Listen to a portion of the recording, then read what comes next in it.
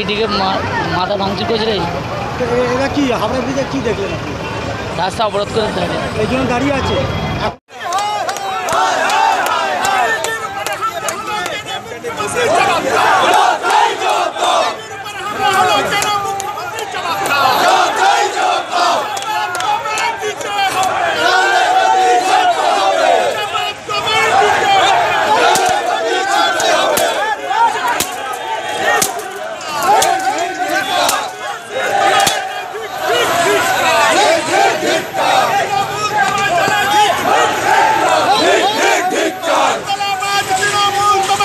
দেখুন সেটা তো আপনি দেখেছেন। আমরা হাওড়া ব্রিজ না, সারা পশ্চিমবাংলা জুড়ে আমরা প্রতিবাদ করব।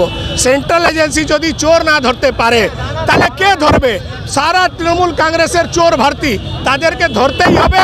সে ধরার জন্য যা যা করণীয় সব হবে।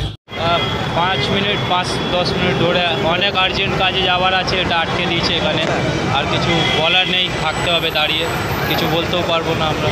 দেখি কত কি কারণে বন্ধ আছে সেটা জানলেন? আমি এখনই দশ মিনিট আগে বাসে চেপেছি খুব আর্জেন্ট কাজে আছি যেতে পারছি না দাঁড়িয়ে আছি। এখনও হাওড়া ব্রিজ বন্ধ? আমি এই তো বন্ধ আপনারা তো দেখতেই পাচ্ছেন।